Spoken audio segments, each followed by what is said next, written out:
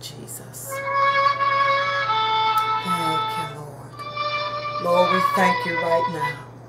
Lord, we praise your name right now. In the mighty name of Jesus, God. For another day, another Mother's Day, God. Bless every person that's watching. Bless every person that's listening, oh God, to this anointed, talented young woman, oh God. Oh, shataya, da, da, da, da. Oh, shataya, da, da, da, da. Thank you, Lord. Thank you, God. Thank you, God. Mm, hallelujah.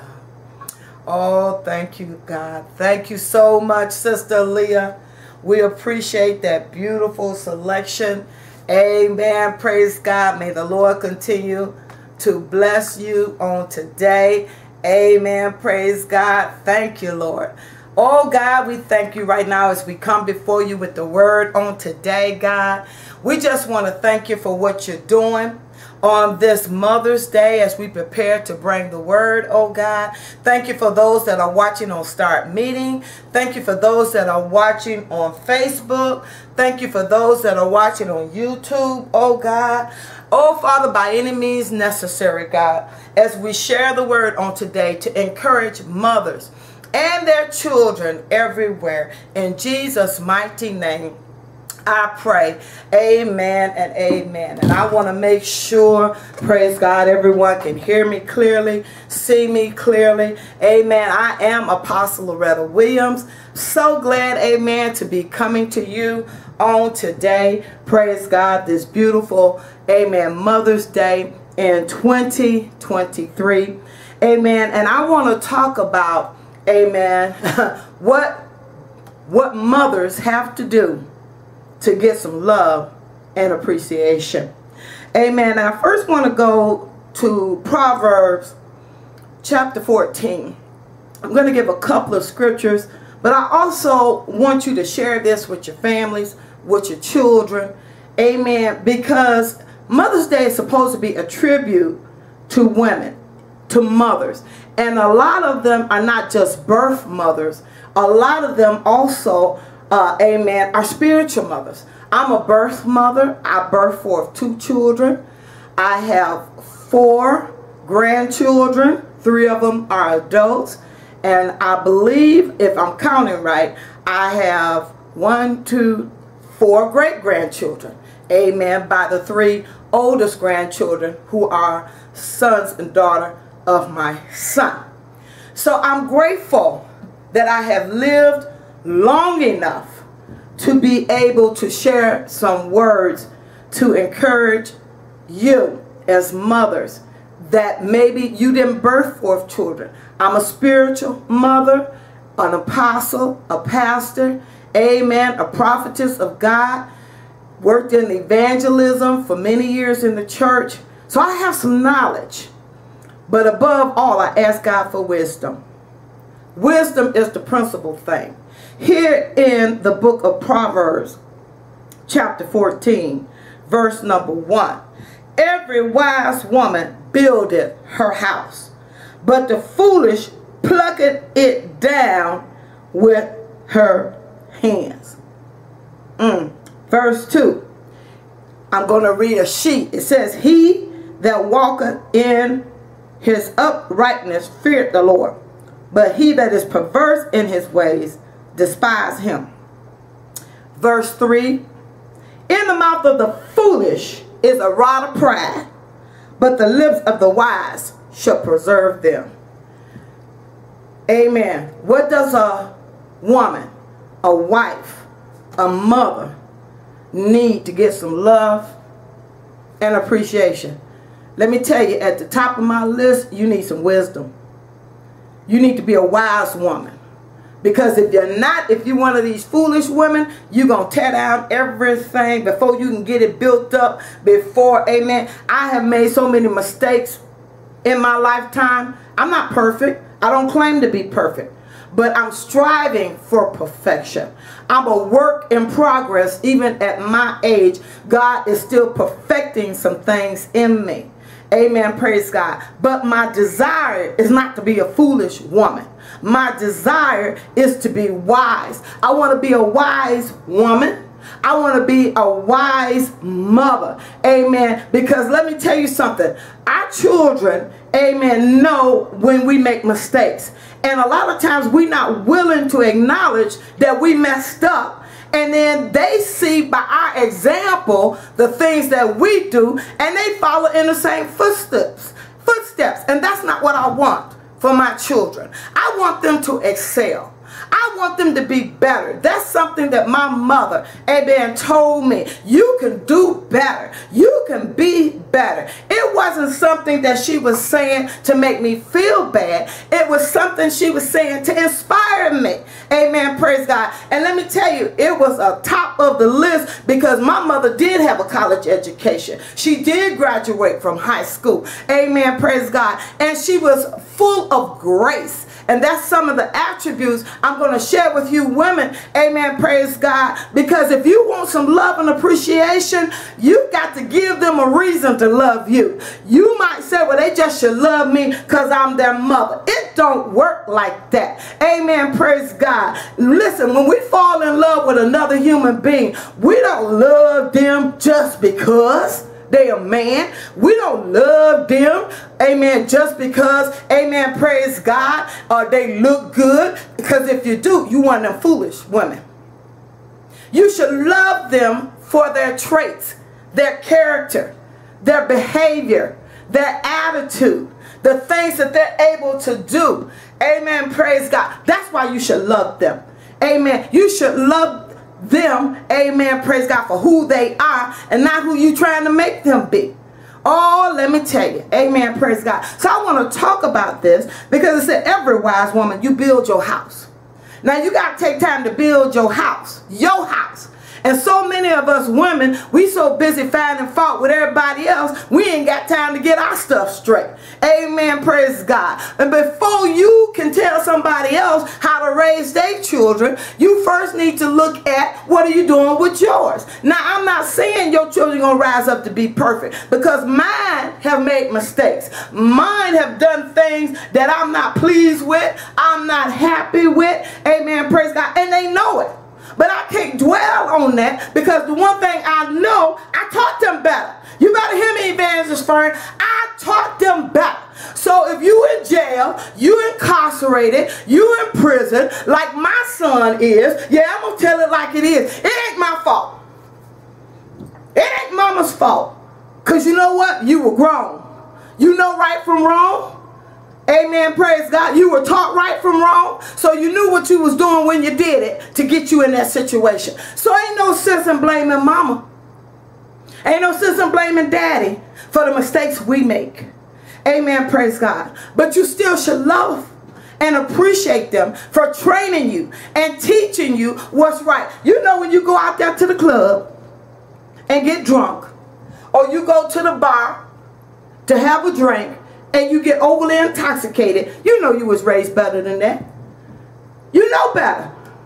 But you do it anyway because you feel sorry for yourself. You do it anyway. Most of the time when people get drunk, amen, get high, amen, start doing things that they know they shouldn't be doing, is because they feel sorry for themselves. Mm-hmm. And they're angry. They're angry because they're in a situation they feel like they can't change. You may have lost your job. You may have been rejected in a relationship. Oh, I'm preaching good on today. Amen. And sometimes rejection and abandonment comes. It's not that person saying they don't love you. Let me straighten something out here. Every woman has a choice. Now here in the state of Texas, it's illegal to have an abortion. and if a doctor performs an abortion and is not essential to the mother's health, I'm talking about she could die without them taking that baby, it's illegal. They will find the doctor and imprison them even. It's illegal here. They just passed that law uh, either in 2023 or last year. But it's illegal. They have taken away the right for women to decide for themselves whether or not they want to have a child. They've taken that away here. But let me say something to you. A lot of women gave up their babies, and it wasn't because they didn't love the child. They loved you enough, amen, to carry you full term. You weren't aborted. Oh, Lord, help me teach on today. You weren't aborted because you could have been aborted. For whatever reason. Sometimes the mother and the father feel they're too young to have children. Sometimes they look at their financial situation and they just say, we can't afford to have a baby. Sometimes they're selfish and they just don't want children, even after the fact that the woman has become pregnant. Or even in a worse scenario, the man already is married and don't want to, amen, give up his wife. And so he tells that mistress, you got to get rid of that child because I'm not, I'm not going to take care of another baby. See, there's a lot of reasons. There's two sides to every story. Then we have these women. I go back in the day. Great grandma, grandma, amen. They were teenagers. They were young. I'm talking about in my family. they were young when they had their babies. Amen, praise God. Because back then, girls got married at 14. 13, 14. Some of them, as soon as they uh, started their menstrual cycle, they were married. Like the situation with Mary, the mother of Jesus, she was a spouse to Joseph. Amen, praise God. She wasn't asked, and if she was asked, the decision was still made that you're going to marry Joseph. And that's why Joseph had a problem when he saw that she was pregnant because he said, it ain't mine. I haven't been intimate with her. And so he had a decision to make whether to marry, continue, because they was already betrothed. Am I going to raise somebody else's child? Oh, I tell you, there's two stories to every, every, every, there's two sides to every story. Joseph had to make a decision. He wasn't that much, let me tell you, he was not that much in love with Mary. And she was a good woman, a young woman, a beautiful woman. But when he saw she came back from visiting her Aunt Elizabeth full of child, he knew he didn't do it. And he was angry. He was mad. Amen, praise God, because he felt betrayed. Now, on the other hand, here's Mary's dilemma. She knows she hadn't been with anybody.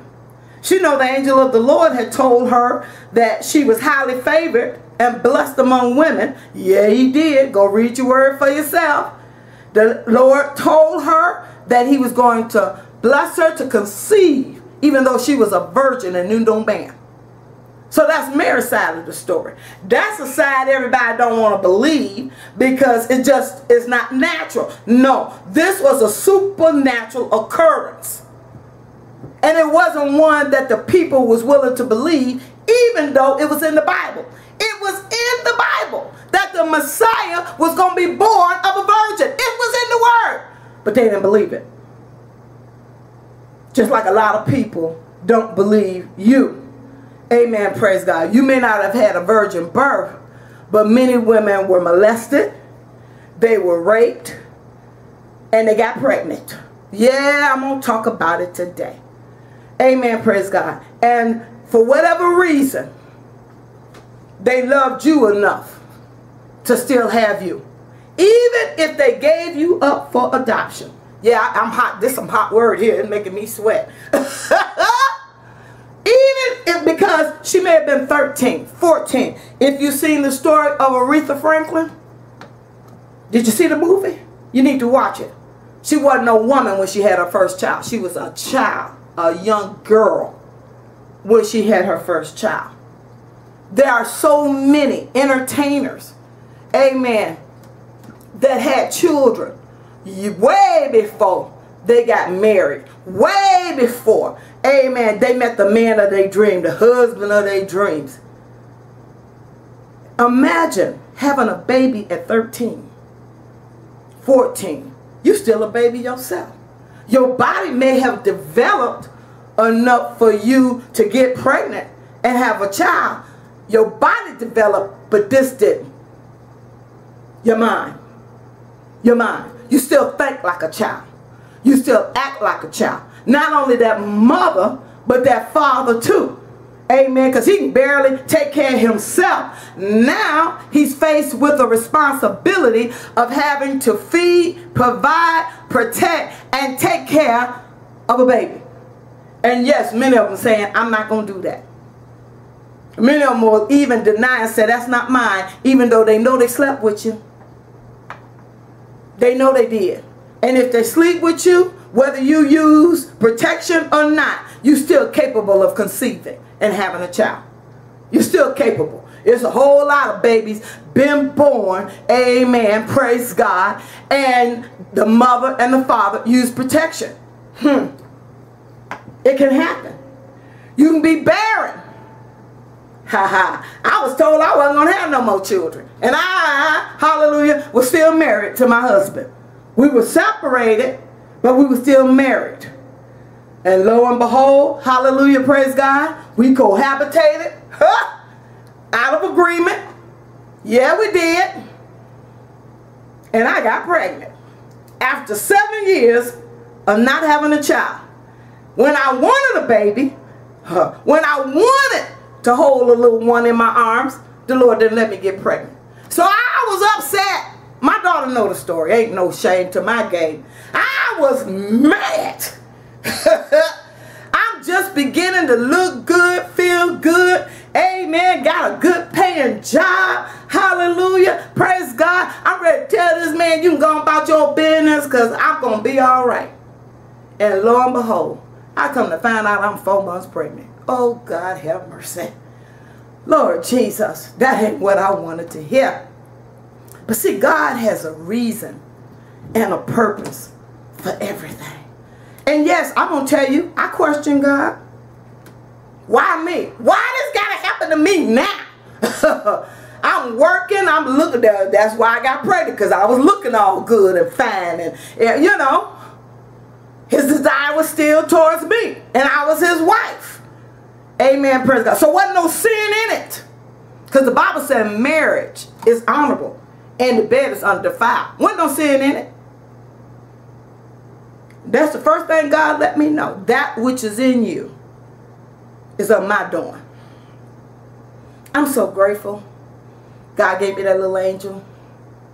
And my mother told me the same thing about my birth. I was unexpected. oh, yeah. And she raised some questions about having me. She told me. She told me. Amen. Praise God. And she told me what the Lord said as well about my birth and the the call that he had on my life. Many of you, many of you watching me, God got a special purpose for you being here. You may not understand it.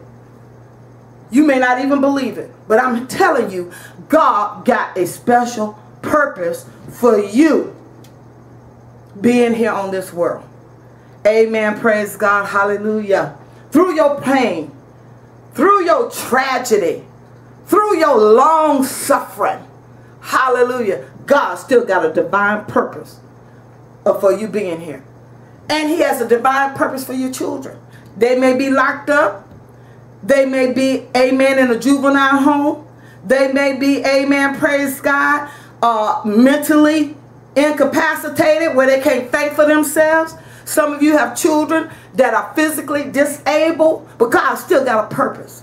And sometimes his purpose is not for that child. It's for you. Because, Lord, I don't even want to think about. I didn't even have a desire to live. I was in that much agony, that much pain, that I didn't even want to live. God saw for. He saw fit. He knew I needed somebody to love me. He knew. So he gave me that child. He caused me to love her while I was carrying her in my womb. Even before I knew whether it was a boy or a girl, I loved her. I loved my baby. Amen. Praise God. And I determined that if I had to raise that child by myself, That's exactly what I was going to do with the help of God. And that's what a lot of you women have done. And that's why, children, you need to love and appreciate your mother. Because number one, she brought you into this world and she didn't have to. She didn't have to. For most women, it's painful. Labor and childbirth is painful. Oh my God, pregnancy ain't no joke either. You're so big, you're waddling, you can't fit your clothes no more. Lord, I couldn't even get in the bathtub and get out. My God. And then I had my daughter in the summertime. Hallelujah, it's hot. I'm bothered. Oh my God. And I'm big with baby. Yeah. I was like, ooh, I'd be so glad when this baby dropped in the middle of July. That's when my daughter was born. Ooh, God, I'd be glad. I was hot. I could. I ate ice cream. I put. I had ice packs. Oh my God, it, you're miserable, and you don't understand that till you have a child. And I don't think men will ever understand it because you ain't in no labor pain. you ain't the one whose belly is full. You won't understand that. You ain't the one that's crying out. Let me tell you, women be in so much pain, hallelujah, they say, I ain't never having sex no more. I ain't never getting pregnant again. Oh, I know because I sure said it. And guess what? I ain't having no more either. I'm not having this kind of pain no more. Uh-huh. Because see, men don't understand that. They they sitting there sometimes watching you, trying to figure out what they can do but really ain't nothing they can do but hold your hand. Be there for you. Hallelujah. And then if you got some like I did, I told I had the nurse and, and his sister get him out the room. He is worrying me. He is bothering me. Amen. Praise God. He calling on the nurse. Do something for her. Help her. Oh my God. They coming. They poking me with needles. I said, please. Grandma! Get him out the room! So he left and then he came back. They called him when my daughter was born. Hallelujah, praise God. Because a lot of men can't handle it. I know men that have passed out. and you ain't even having a baby. And they pass out. they pass out in the delivery room. They can't stand it. And you're not the one in pain. Yeah, that's why you should love and appreciate your wife, the mother of your children, and children, you should appreciate your mother. You should love and appreciate her. Amen. Praise God. We want to build our homes. We want to build a place where our children can come and find peace. And they ain't going to find no peace if you arguing, fussing, and fighting all the time. Hallelujah, praise God. You got to learn, women, to agree, not to disagree. Let them have the last word if necessary. But amen, praise God. Keep some peace. Be a peacemaker and not a peace breaker. Children scared to go home now. Amen. I went through it. My mother and father used to get to arguing. I crawl under the bread, under the bed, and I'd be praying for my daddy that my mama wouldn't kill him. and my dad was a big man. But my mother did not play. Them little women, you got to watch them. Them little women, mm-hmm, they ain't to argue. They ain't to fuss. They to get something in their hand and throw it upside your head. Hallelujah. We got some ideas around too. They'll throw some hot grits on you. you better hear me. Hallelujah. They'll get you in your sleep. They'll put some Ex-Lax in your cake and serve it to you. you better hear what I'm saying. This stuff Tyler Perry writing is the absolute truth.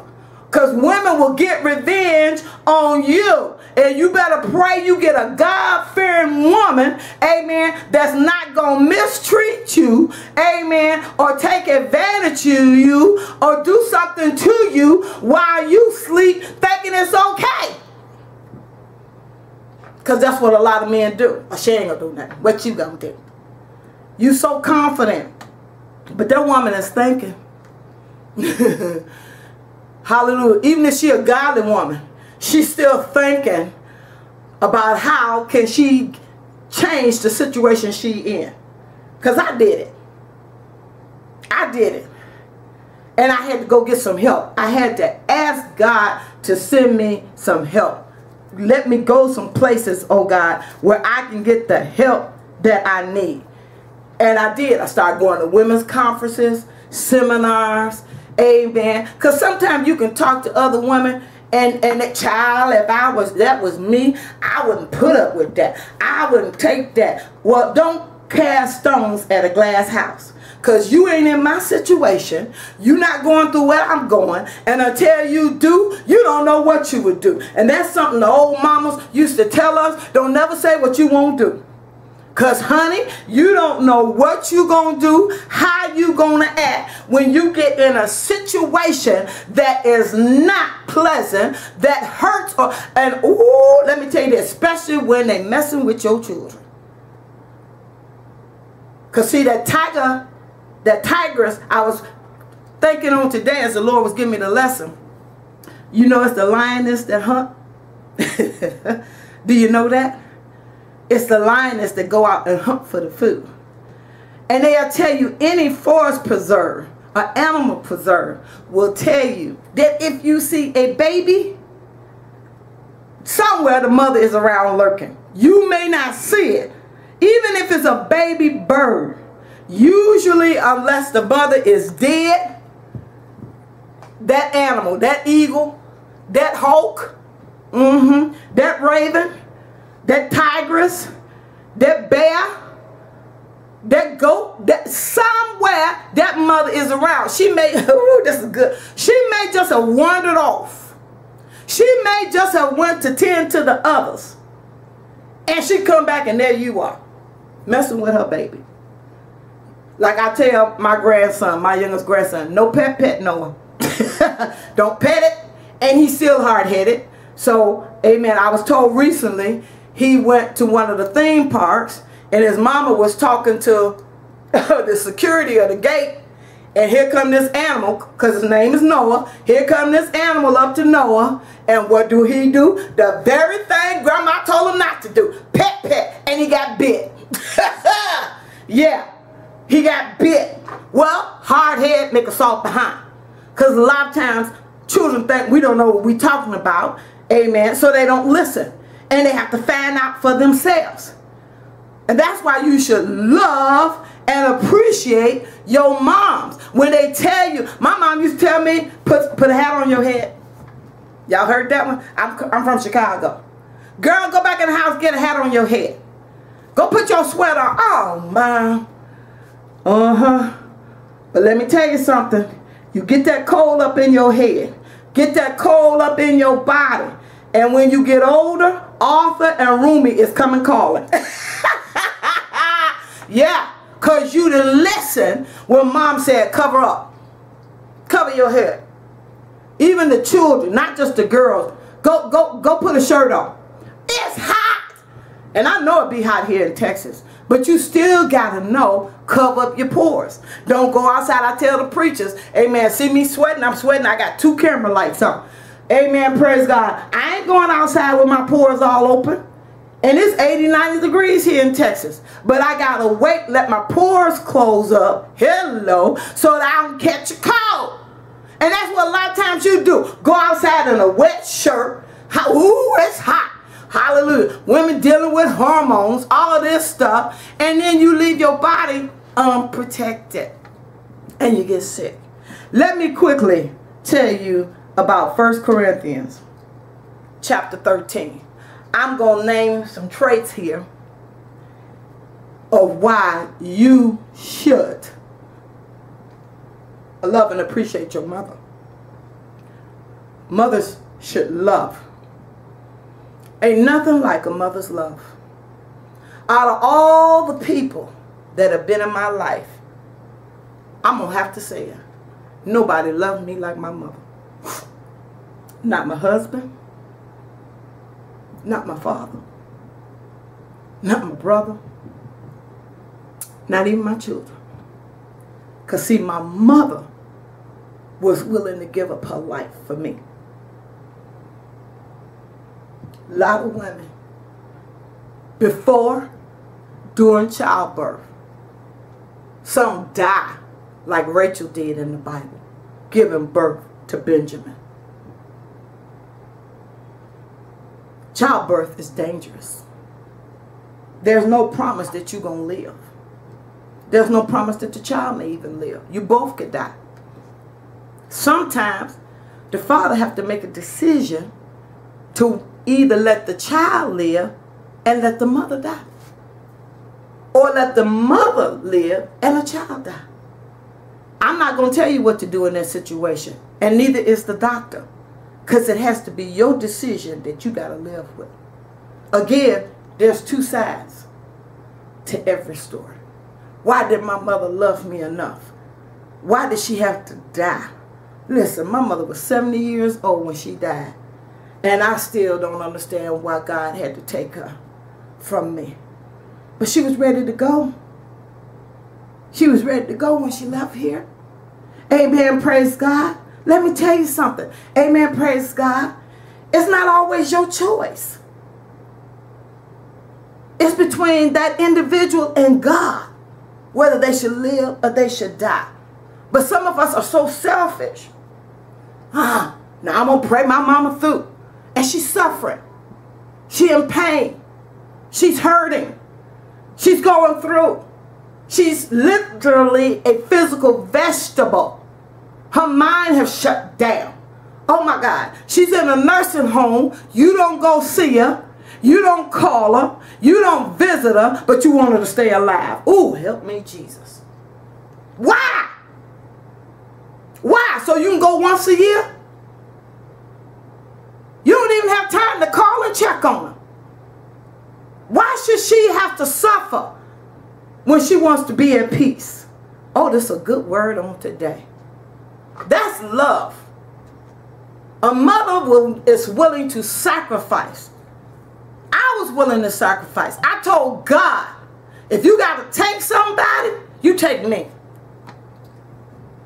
Yeah, I went through it. You take me, but don't take my children. Don't take my children. I've watched my children go through life and death situations. And that mother's love is so strong in me. God, you take me. Let them live.